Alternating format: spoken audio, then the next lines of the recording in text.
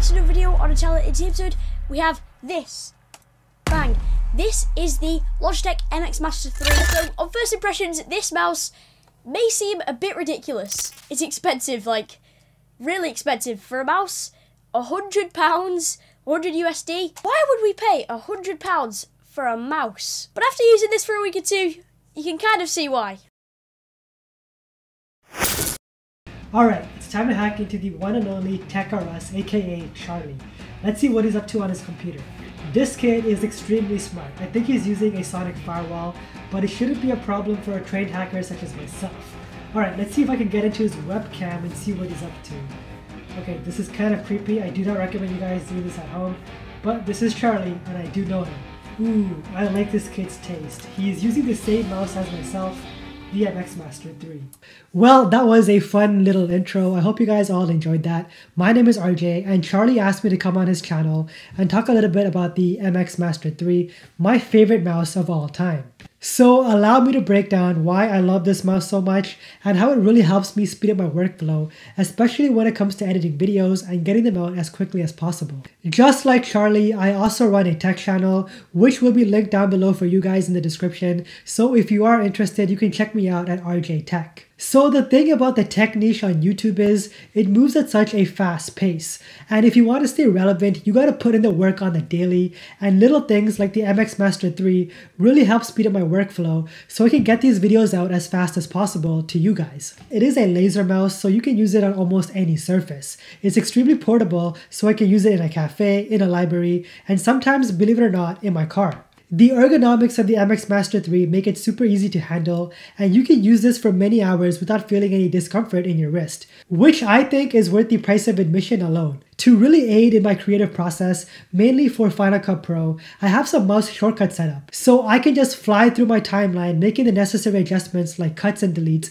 and this has made my workflow so much faster. This button right here naturally rests on my right thumb. So I have that set up as Command B, which is a shortcut for cutting my clips. And the button right below that is set up as a delete shortcut. So I can just whip through my timeline, deleting and cutting clips. Usually it takes me about half an hour to get through editing the talking head, which is what I'm doing right now, and another three or four hours to film and edit the b-roll. So yeah, if you guys want to see my more in-depth coverage on the MX Master 3, I did make a full review over on my channel, so check it out if you guys are interested. With all of that being said, thanks so much Charlie for having me on your channel. It's been a huge honor, and don't forget to flex with your tech. Thanks so much to RJ for coming on. That was a really fun intro to make. If you guys haven't seen RJ already, he has an amazing tech channel. I love watching his videos. He has nearly 10k subscribers now, so if anyone could help him out, I'm sure he would highly appreciate it. And he's just an absolutely excellent YouTuber, so I'll leave his link in the description. Make sure to go check him out if you haven't already. But yeah, let's get right back to the video. So, I'm going to start off with my pillars of a mouse this time. Usually I do my pillars of a smartphone. If you've seen any of my smartphone reviews, you know that. And so, we're going to start off with design. Design is subjective, as I always say, but this is a really nice design, I think, personally.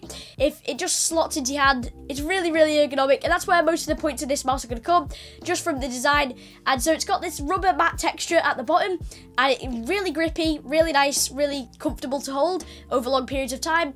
It doesn't really hurt your hand or anything like that. And it's just big enough for my hands to fit and not scrape the table. You can see my finger comes over a tiny bit there. If I'm palming it a bit more, like very hard palming, then does sometimes scrape my finger across the desk. The Logitech MX Master 2S was a bigger, more chunky mouse because it had a wider body, which means that your hand would not really be able to touch the table that easily. But on the MX Master 3, that is one of the problems I found with this mouse. If leaving your hand further down the mouse, then you should be able to grip onto it really nice and that's what I really like about this mouse is the grip texture.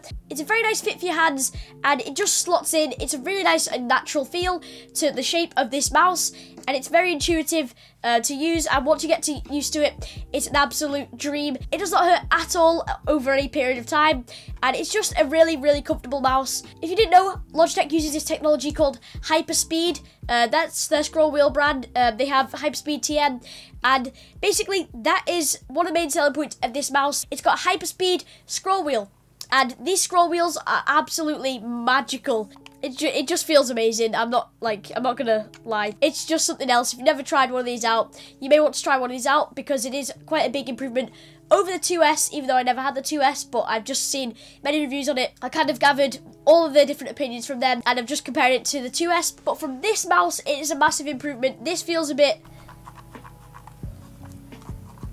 got a weird cheap feel to the scroll wheel, but this feels very premium. Uh, this is all done, it's got like a new mechanism, so it's electromagnetic actually, so like you've got your phone vibrations, your haptic motor in your phone, this is what it feels like. Feels very robotic, but it feels quite nice as well, like it gives like a nice little shudder. Uh, but it, it's not too harsh and it's not too light. And so that kind of explained the scroll wheel part of the pillars of a mouse. Speaking back onto the design, this is in the graphite colour and it is the Logitech MX Master 3 for Mac. Uh, they haven't got any different colours for any different OSs, don't worry. If you're a Mac OS guy or if you're a Windows guy, you'll get the same colour variants, so there's no discrimination there, you know, stop discrimination. And on the bottom, this is almost polished plastic kind of feel. It's a grey finish and it feels really nice. So even on the bottom, it feels really nice. This mouse is just a really, really nice and premium feeling mouse overall. And this kind of brings us to the functionality. I've already mentioned scroll wheel, which has that really nice robotic electromagnetic kind of feel. Hyperspeed, it's called. And this applies to many apps, so you can change it from this mode, which is the hyper hyperspeed. So this is more of a traditional scroll wheel where it's got the little stops, so you can feel kind of like the pressure. But if you click this button again, it is a free spin. That's what they call it. So there's ratchet mode and there's free spin. This is free spin.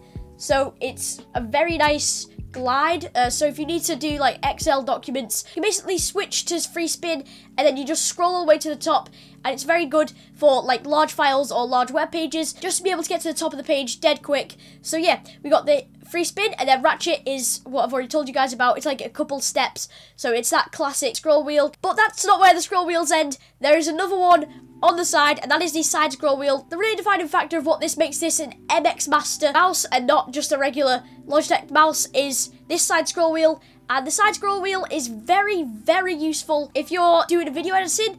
This comes in very handy and it's just a really pleasant experience, just amazing. And you can program that to go faster and slower in software, but I'll talk about software more later. And we also get a gesture button, which is a button that is near your thumb. So you can see on the back behind me, I have Final Cut Pro and also Audacity open, which is recording the audio for this video.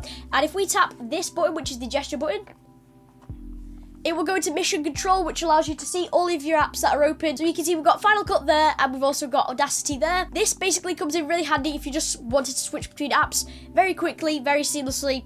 And so you just tap that gesture button. For also app expose and stuff like that, if there's any apps running in the background, you just gotta um, hold that gesture button and drag down. So yeah, it's a pretty useful command if you think you're ever going to use it. Personally, I don't really use the gesture button that often, but it does come in handy when you kind of need it or you kind of want to use it because I've got a Mac Mini, so I don't have a trackpad. There's not really any gestures I can use to get mission control open, so just having that gesture button comes in really handy and it allows me to switch apps a lot quicker. Alright, and now we're going on to one of my favourite features of this mouse, and that is the programmable buttons. So, I'm going to link this with software because these two really need to go together Otherwise, not really much point. So when you guys get this, make sure to download Logitech Options. It is basically Logitech's customization software for your mouse and it allows you to control all aspects of this mouse. So there's going to be some pop-ups that come on your screen. You just have to allow them, otherwise it won't be able to connect to your device. After you've done that, the Logitech MX Master 3 should show up there and then you can start customizing it. I really enjoy programming these buttons to keystroke assignments, which you should be able to find in the menus.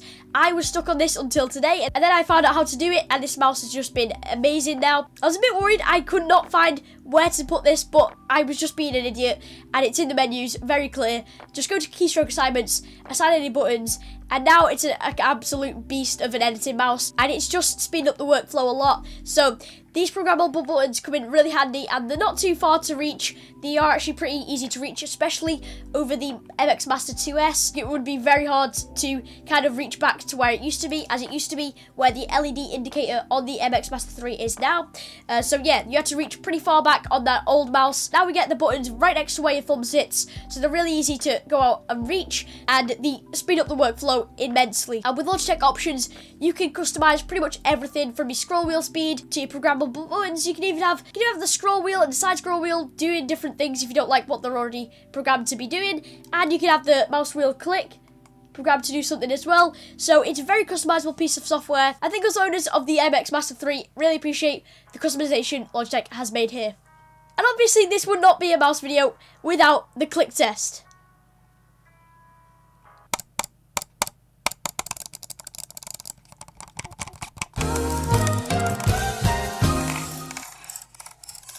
No, but seriously, I will actually do a real click test now, and you'll be able to see why I like the scroll wheel, free spin mode, and also the click. So that should be coming up on your screen right now. So here's the click test.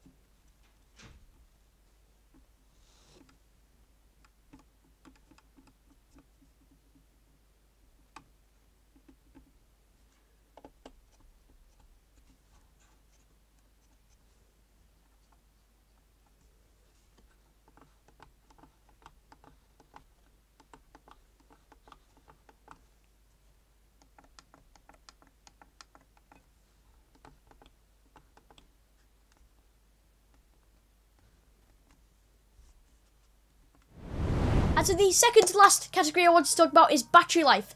So if you guys didn't know already, this is one of the best features of this mouse. This mouse lasts 70 days on a charge, and if you charge it for one minute, you get three hours of use, which I just think is amazing. So if you're on the run and you just want to plug this mouse in dead quick, you get up to three hours of use in one minute of charge. And also another improvement from the 2S is USB-C charging. So that's how it accomplishes that really fast charging. And it's just another factor as to why this may be the best mouse for creatives. So the final category we're going to talk about here is connectivity. So I had a bit of a trouble connecting this to Logitech options, but it was because I was being an absolute nimbus and it's just right there in front of you.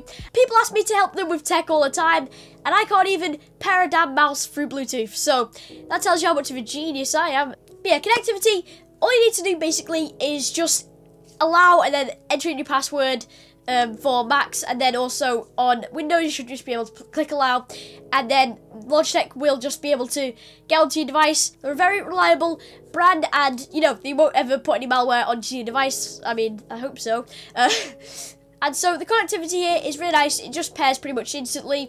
You don't really need to do anything. It just comes up on your machine once you turn once you turn the on button on below the mouse you have to turn on and on button. I mean it's not a big deal.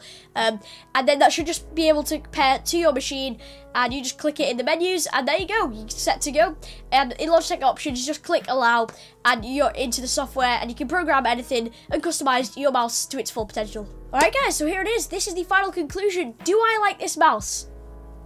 Absolutely. This mouse it's just amazing. The speed you're able to get just from having this mouse, you know, programmable buttons, you get the side scroll wheel, means that I'm not going to always drag and then try and, yeah.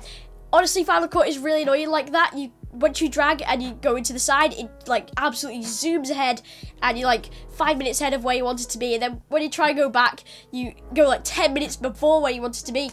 Uh, so just having that side scroll wheel to get some nice precision is always very appreciated. And the gesture button comes in pretty handy when I need to use it, just to get into mission control. And the scroll wheel, well, scroll wheel is just amazing. And the design, the ergonomics, it, it's just an absolutely excellent mouse for all the reasons that I've said in this video. And would I recommend it? Yes, very much so. It is an absolute excellent device for creatives. While it is very expensive, it is worth the money if you're actually serious into doing video editing and other things like that. And I would very much suggest it if you have a friend or cousin or brother or family member who is into like video editing or creative work and you want to get them something for Christmas or something like that, then I think this is an absolutely excellent mouse. It's quite expensive, but if you want to be a master, gotta get this mouse. See what I did there? MX Master. Before we end off the video, I really want to mention another mouse, which is an alternative for creatives. It's cheaper, and it's still from Logitech, and that is the Logitech MX Master Original. And so my dad picked this up, and he actually is really enjoying it so far. He likes the scroll wheel, which is on the side, you can uh, basically the same as the Logitech MX Master 3. It's just a bit smaller, so a lot of these features that are on the MX Master 3 are toned down on the original MX Master because they've improved over generations. This was released in 2015, I believe, so they've had five years to improve, and they have on the MX Master 3. But yeah, we still get the gesture button, the programmable buttons, the scroll wheel. It's not quite as nice as on the MX Master 3 because it has this weird sounding click, and it's just a bit cheaper feeling, um, as well as it's not as like smooth the scroll. It's sort of silent, if you hear that.